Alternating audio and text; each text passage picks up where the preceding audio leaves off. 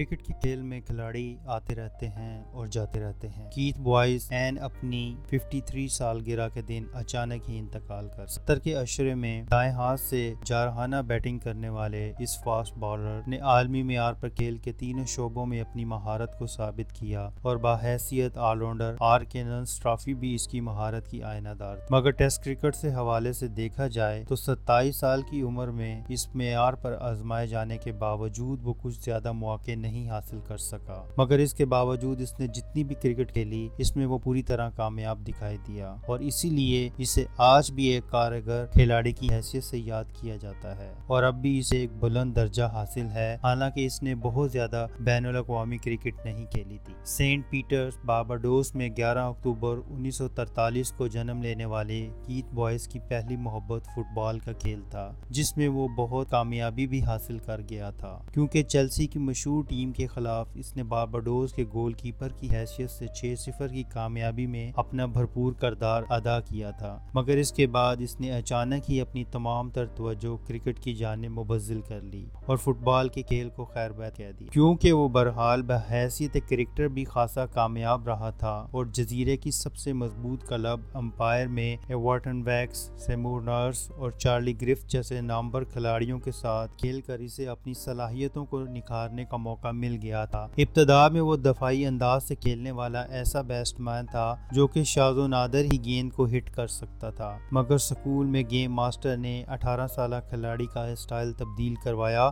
تو وہ حیران کن طور پر ایکسٹرا کور میں کھڑے فیلڈر کے سر کے اوپر سے سٹروک کھیلنے لگا، جو کہ تماشائیوں کے لیے لطف کی فراہمی کا سبب بنتے تھے۔ جبکہ نیٹ پریکٹس کے دوران فاسٹ بالنگ کرنے والا یہ کھلاڑی میچوں میں باحیثیت لیگ سپنر کھیلا کرتا تھا۔ اور یہ کوئی حیران ہونے کی بات نہیں تھی کہ 1965 میں دورے پر آنے والی ٹیم کویلیئرز کے خلاف اس کا بارباڈوز کی ٹیم میں انتخاب ایک لیگ سپنر کی حیثیت سے ہی ہوا تھا۔ مگر اسی میچ میں نہ صرف اس کی زندگی بلکہ کیریئر کو بھی تبدیل کر کے رکھ دیا۔ دراصل یہ میچ ویسٹ انڈیز بامقابلہ آسٹریلیا سیریز کے پہلے ٹیسٹ سے چند روز قبل ہی کھیلا گیا تھا اور بارباڈوز کے فاسٹ بالر ویزلے ہال اور چارلی گرفت فوری طور پر جمیکا طلب کر لیے گئے تھے۔ حالانکہ یہ امید تھی کہ وہ کویلیئرز کے خلاف میچ میں حصہ لیں گے، بوائز کو میدان میں آنے سے قبل قطع امید نہ تھی کہ اسے لیگ بریک گیندوں کے بجائے فاسٹ بالنگ کرنا پڑے گی۔ ان دنوں انگلش کاؤنٹری کے سیکرٹری ٹریور بیلی اس کی بالنگ سے بہت زیادہ متاثر ہوئے۔ اور انہوں نے پہلے وقفے میں اس نوجوان سے رابطہ کیا اور اس کی خدمات ایسکس کے لیے حاصل کر لی۔ حالانکہ انہوں نے ابھی اسے بیٹنگ کرتے ہوئے بھی نہیں دیکھا تھا۔ بوائز کو دوسری اننگ میں بیٹنگ کرنے کا موقع ملا تو اس نے 55 رنز کی ایک عمدہ اننگ کھیل کر اپنی ایک اور صلاحیت کا اظہار کیا۔ مگر حالات و واقعات کا جائزہ لیا جائے تو یہ ٹریور بیلی اور شاید بوائز کی بھی خوش قسمتی تھی کہ محض ایک اتفاق کے سبب عالمی کرکٹر کو ایک اچھا تیز بالر مل گیا۔ جبکہ بوائز نے نے انگلینڈ آ کر دو سالہ کوالیفائنگ عرصہ گزارنے کا آغاز کیا تو اس سے پہلی مرتبہ صحیح معنوں میں کوچنگ کی سہولت بھی حاصل ہوئی۔ اگرچہ کرکٹ کی ابتدا کے بعد اسے doctor Bernie Clarke E A Williams اور ڈینس ایٹنسن جیسے ٹیسٹ بالر کی جانب سے ہدایات ملی تھی، جبکہ اس کے والد کیتھ جو کہ ایک مقامی کھلاڑی تھے اور اس کے چچا جیبرالڈ جو کہ بارباڈوز کے لیے باحیثیت وکٹ کیپر بیسٹ میل کھیلتے تھے، اس کی نشو نما میں اہم کردار ادا کرتے رہے۔ مگر براہ راست کوچنگ بوائز کے لیے بالکل نیا تجربہ تھا۔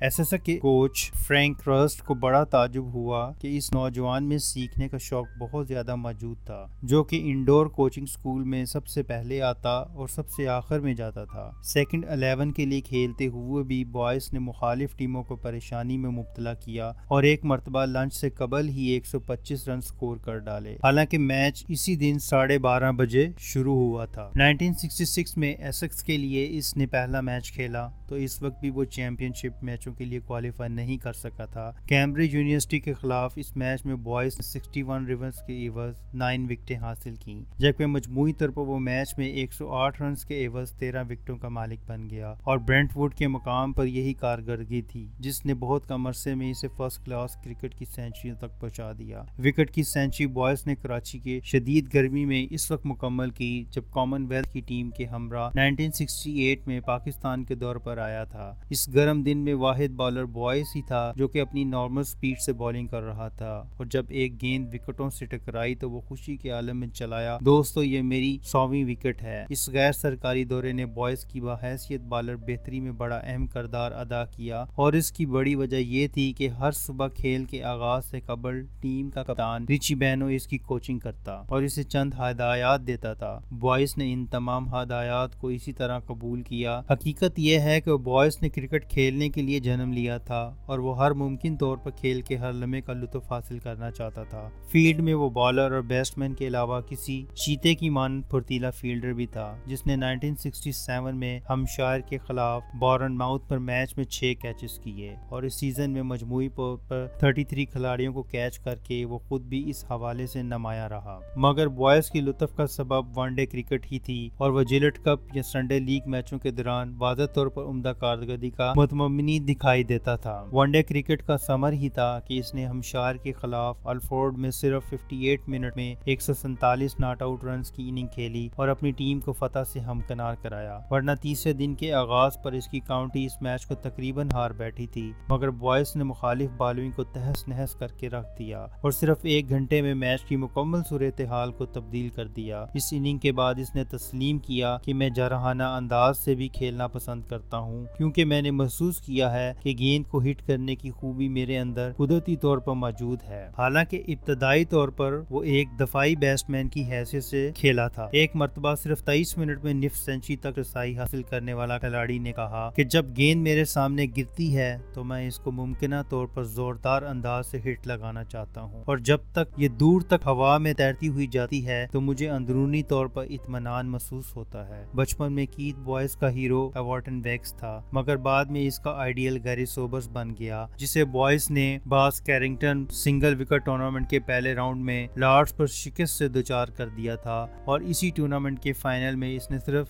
چھیالیس گیندوں پر چوراسی رن سکور کر ڈالے تھے۔ اس کے اندر بلا کے اعتماد تھا جو کہ اسے آگے بڑھاتا رہا اور مجموعی طور پر عمدہ کارکردگی اس کو ویسٹ انڈیز کی ٹیم تک لے گئی اور وہ انیس سو ستر اکہتر میں بھارت کے خلاف جارج ٹاؤن ٹیسٹ کے لیے منتخب کر لیا گیا۔ اگرچہ اس کی اولین ازمائش میں وہ کوئی حیران کن کارکردگی نہ دکھا سکا، مگر گنڈوا پاشوانات کو اپنا پہلا شکار بنانے والے کھلاڑی نے سینتالیس رنز دے کر دو وکٹ کی کارکردگی دکھائی، جبکہ بیٹنگ میں وہ صرف نو رنز ہی کر سکے۔ انیس سو بہتر تہتر میں آسٹریلی ٹیم ویسٹ انڈیز کے دورے پر آئی، تو اس کے خلاف بھی کیت بوائز کی کوئی حیران کن کارکردگی نہیں تھی۔ اور چار ٹیسٹ میچوں میں اس نے صرف اکتیس اشاریہ ستتر کی اوسط سے نو وکٹیں حاصل کی جبکہ سولہ اشارہ سولہ کی اوسط سے ستانوے رنز ہی بنا سکے، جو کہ اس کی عمدہ کارکردگی کا عکس نہیں تھا۔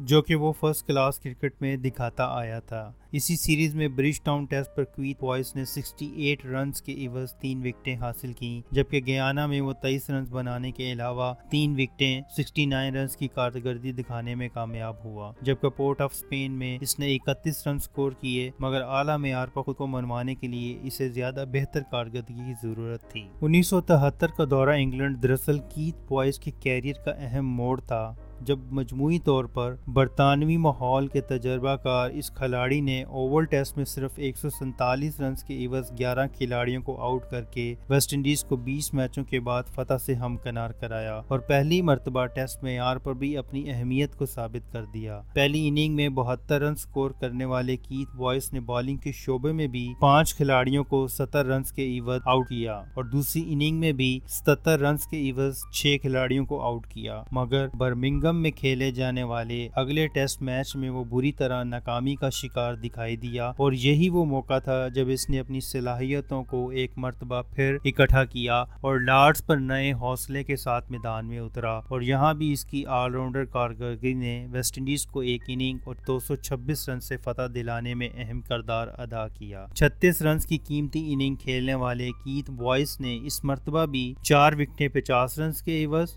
اور چار وکٹیں 49 رنز کے عوض حاصل کی اور ثابت کر دیا کہ عالمی افق پر ایک بھرپور کھلاڑی ابھر کر سامنے آ چکا ہے۔ انیس سو تہتر چوہتر میں برطانوی ٹیم جوابی دورے پر ویسٹ انڈیز آئی تو توجہ کا مرکز West Indies all rounder Keith Boyce ہی تھا، جس نے گزشتہ سیریز کی فتح میں اہم کردار ادا کیا تھا۔ اور اس نے کسی کو بھی مایوس نہیں کیا، کیونکہ پورٹ آف اسپین پر چھبیس رنز بنانے کے بعد اس نے چار وکٹوں کی کارکردگی بھی دکھائی۔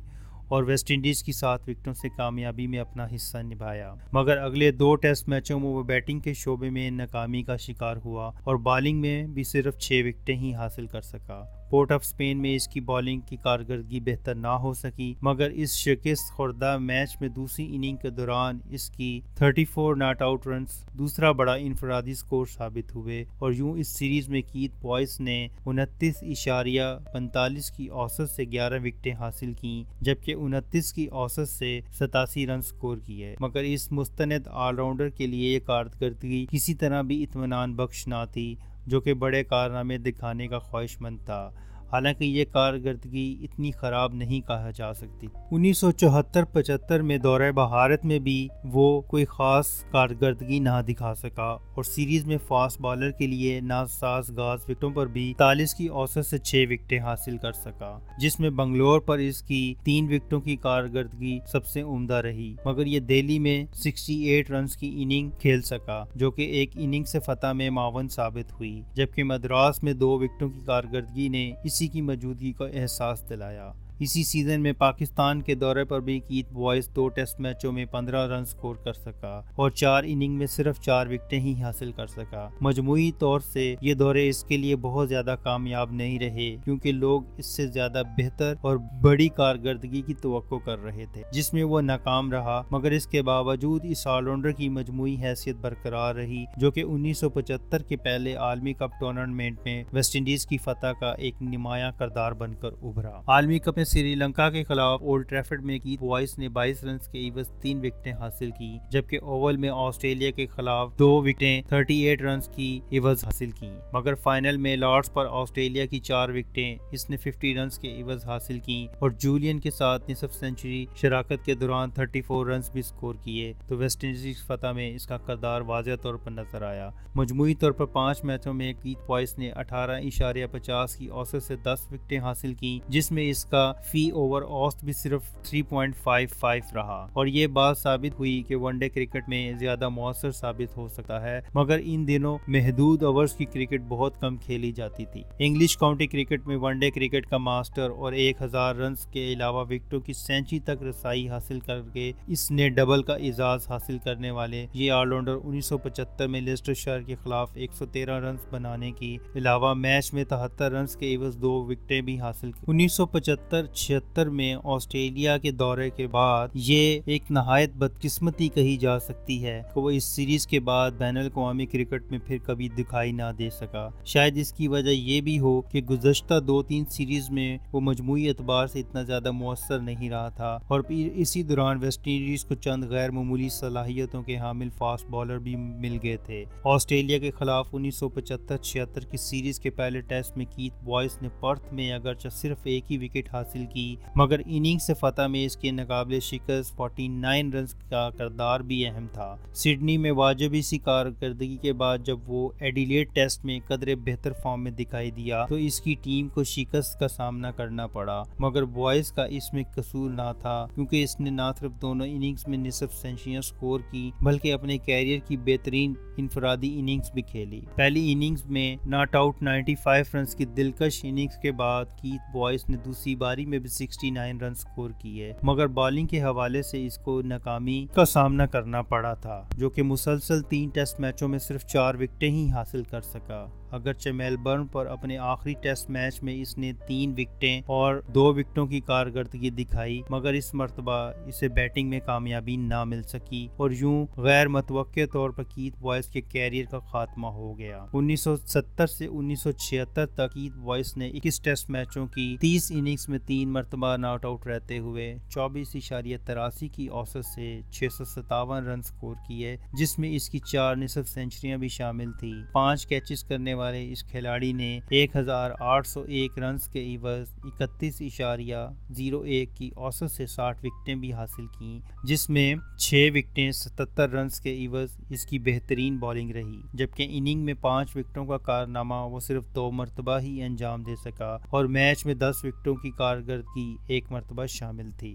آٹھ ایک روزہ انٹرنیشنل میچوں میں چودہ اشاریہ پچیس کی اوسط سے ستاون رن سکور کرنے والے کیت بوائز نے چوبیس اشاریہ زیرو سات کی اوسط سے تیرہ وکٹیں بھی حاصل کیں اور جس میں ایک اننگ کے دوران چار وکٹوں کی کارکردگی ایک مرتبہ شامل تھی۔ بین الاقوامی کرکٹ سے علیحدگی کے بعد وہ فرسٹ کلاس کرکٹ میں بھی حصہ لیتا رہا، مگر صرف انیس سو ستتر تک، کیونکہ اب اس کے لیے محض فرسٹ کلاس کرکٹ کھیلنا کچھ زیادہ دلچسپی کا باعث نہیں رہا تھا۔ ایس ایس ایکس، بارباڈوز اور ویسٹ انڈیز کی نمائندگی کرنے والے کیت بوائس نے فرسٹ کلاس کرکٹ میں مجموعی طور پر چار سینچریوں کی مدد سے آٹھ ہزار آٹھ سو رن سکور کیے اور اس کی اوسط بائیس اشاریہ انتالیس رہی، جبکہ دو سو پندرہ کیچز کرنے کے علاوہ آٹھ سو باون وکٹیں بھی حاصل کیں۔ اور یہ ایک بہت بڑی کامیابی تھی۔ اس بالر کے لیے جو لیگ سپنر کی حیثیت سے کیریئر شروع کرنے کے بعد فاسٹ بالر بنا اور عالمی معیار پر اس نے اپنے کھیل کا لوہا منوایا۔ اننگ میں پانچ وکٹیں پینتیس مرتبہ حاصل کرنے والے اس سیاہ فارم بالر نے میچ میں دس وکٹوں کا کارنامہ سات مرتبہ انجام دیا، جبکہ جان پلیئرز لیگ میں لنکا شہر کے خلاف مانچسٹر 1971 اس کی آٹھ وکٹیں چھبیس رنز کے عوض اس کی سب سے بہترین بالنگ رہی، جسے کیت بوائز کی طرح کبھی بھی نہیں بلایا جا سکے گا۔ اور جب بھی ویسٹ انڈیز کے آل راؤنڈر کا ذکر آئے گا تو اس منفرد آل راؤنڈر کو ضرور یاد کیا جا سکے گا، جس نے ٹھیک اسی دن موت کو گلے لگا لیا، جس دن وہ صرف 53 سال کا ہوا تھا۔